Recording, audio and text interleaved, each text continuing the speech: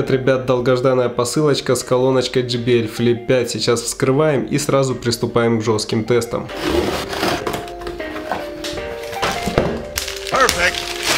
Наконец-то эта колоночка попала ко мне в руки и почему пришлось так долго ее ждать, потому что я заказал белый цвет. Я уже давно мог купить черного или темно-синего цвета, но у меня никогда не было колонки белого цвета, поэтому я очень хотел в этот раз купить белую. И поэтому пришлось подождать на месяц дольше, но зато я получил колонку нужного мне цвета. Теперь мы вскрываем коробочку, смотрим что нас там ждет и сразу наваливаем жесткий бас.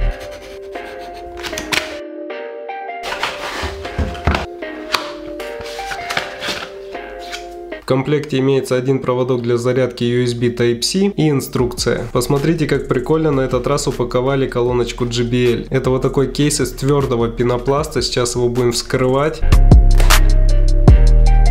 Блин, вообще прикольный такой чехол, даже не знаю, как его использовать. Может из него сделать портативную колонку, вставить сюда динамики и усилитель? Напишите это в комментариях. И вот он, Flip 5 в белом цвете. Очень красиво выглядит, особенно пассивки. Посмотрите, какого красивого они цвета. Конечно, на эту колоночку уже на YouTube очень много обзоров, поэтому я кратко пробегусь, потому что увижу на корпусе кнопка включения, Bluetooth, индикатор заряда аккумулятора и открытый разъем USB Type-C. Он защищен от воды, так же как и на моем телефоне Samsung A5. С этой стороны кнопка Play пауза, плюс и минус громкость и кнопка Party Boost. Это типа коннекта, только новая версия, поэтому эта колонка не подключается к предыдущим версиям. Это конечно обидно, но это говорит о том, что скоро выйдут все версии обновленные с этой кнопкой, поэтому будет и второй JBL Boombox, JBL Extreme 3 и естественно JBL Charge 5. Также здесь имеется ремешок, как в четвертом флипе, такие же на нем узелки, которые сложно завязать, но они выглядят выглядят красиво и не развязываются. Напоминаю, что у меня есть канал в Телеграме и там все самые крутые бас-треки из моих видео. Просто вбивайте Паша С и вы там меня легко найдете.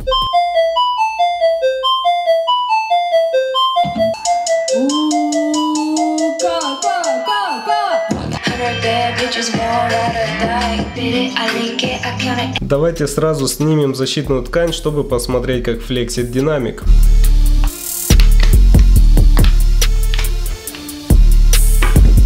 Все-таки, ребят, не зря я ждал именно белую версию этой колонки, так как она немного отличается от темно-синей и черной версии. Если вы уже смотрели несколько обзоров на эту колонку на других каналах, где снимают защитную ткань, тогда вы уже заметили, какие имеются отличия по корпусу в этой версии колонки. Например, в другой версии здесь есть ребрышки, а у меня здесь абсолютно гладко. Также тех, кого интересует версия этой колонки, сейчас я вам попытаюсь это показать. Конечно, на данный момент еще неизвестно, какая из версий этой колонки лучше всего, поэтому мы ее будем будем жестко тестировать, посмотрим, как моя колонка будет выдерживать жесткие тесты, также посмотрим на других каналах, как другие версии будут выдерживать у других блогеров и попытаемся сделать какие-то выводы, в чем же все-таки они отличаются, кроме внешнего вида корпуса. А самое главное, меня волнует, как она будет выдерживать погружение под воду, потому что некоторые версии колонок JBL плохо выдерживали погружение под воду. Например, JBL Charge 4 TL версия оказалась хуже, чем GG версии, и она плохо выдерживала погружение под воду. Надеюсь, Надеюсь, с этой колонкой таких проблем не будет. Также мы сейчас замеряем громкость на моем шумомере, чтобы узнать, сколько она выдаст децибел. Сравним с четвертым флипом, естественно, чтобы понять, какая колонка громче. Но то, что в этой колонке больше басов, это я могу уже сейчас вам сказать, потому что это сразу слышно. Ну и напоследок, естественно, мы навалим самый лютый бас на этой колонке, выведем этот динамик на максимальный ход, пассивки тоже, для того, чтобы проверить, сгорит она от перегрузок на минусы Bluetooth или нет.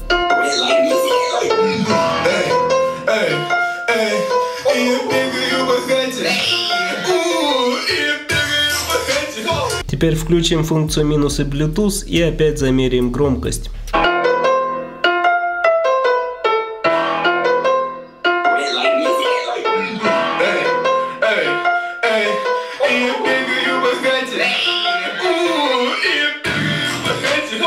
Ну вот это совсем другое дело. На минус и Bluetooth 98 дБ для такой колоночки. Это естественно очень много. Сейчас попробуем то же самое сделать с JBL Flip 4.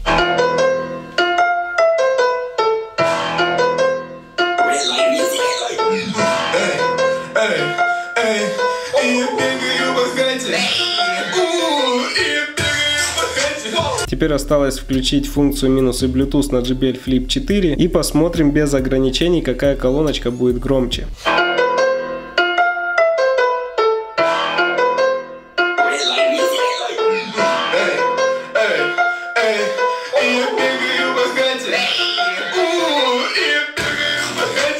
Ну и как мы видим на функции минус и Bluetooth колоночка JBL Flip 5 все равно остается громче, чем Flip 4.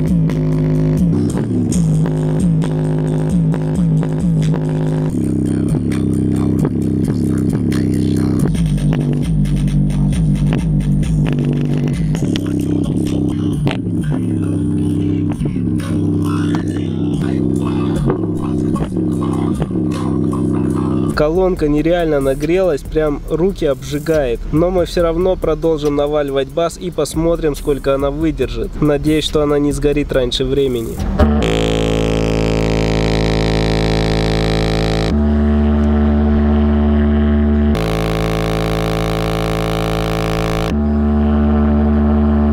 Что-то мне не везет, и одна и вторая колонка вырубается. Наверное, из-за перегрева, то, что они на солнце находятся и сильно нагреваются из-за этого. Thank you.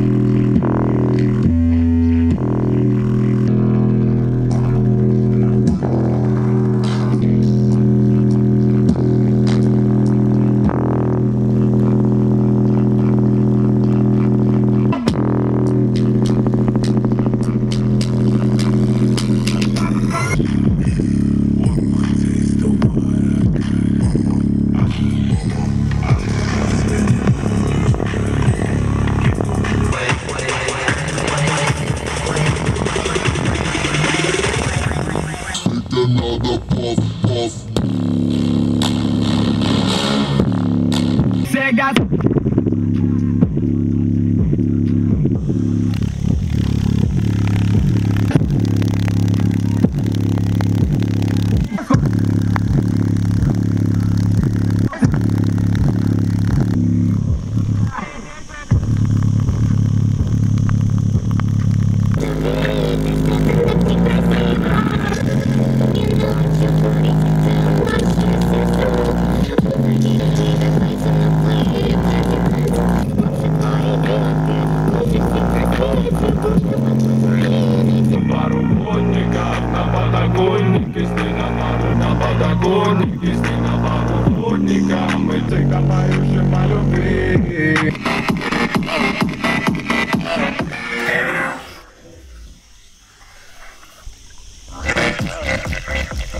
Uh -huh.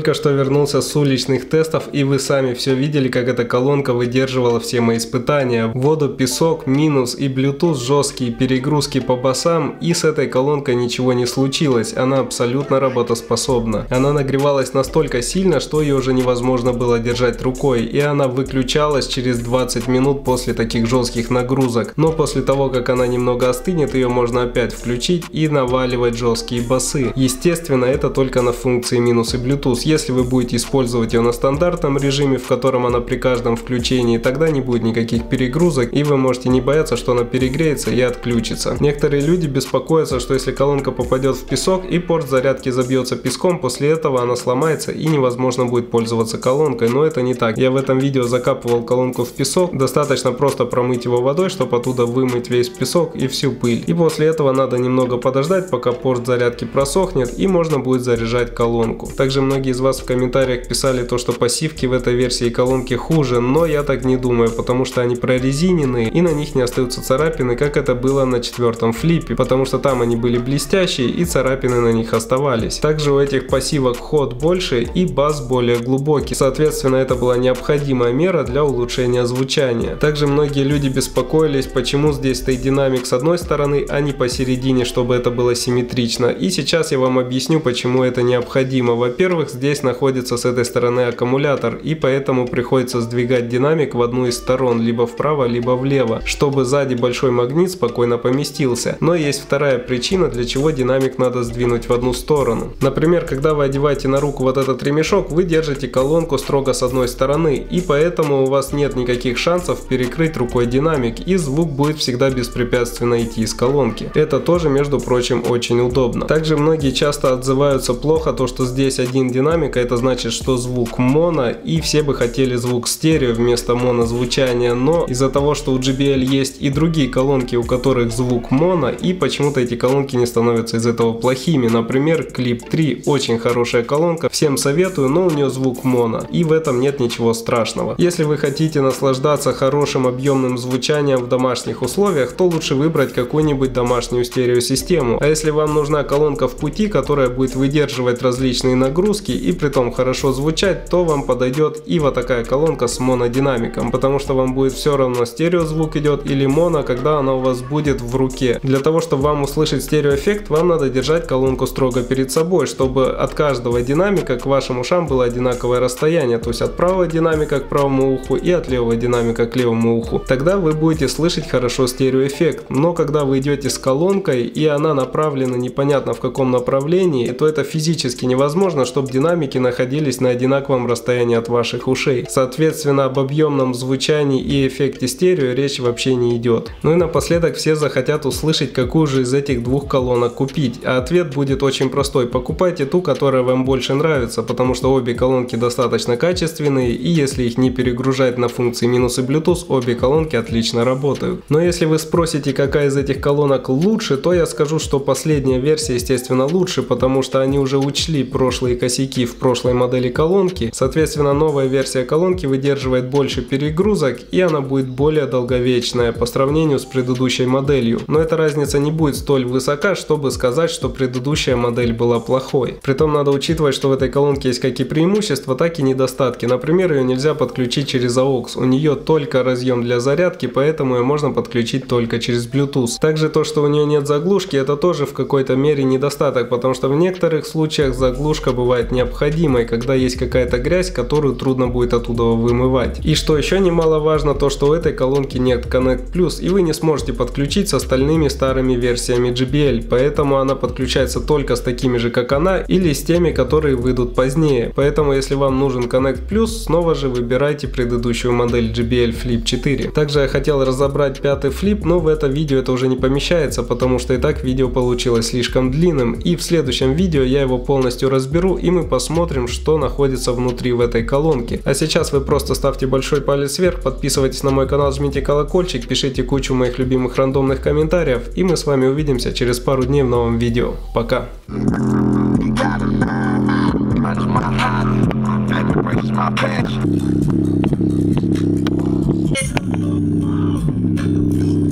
my.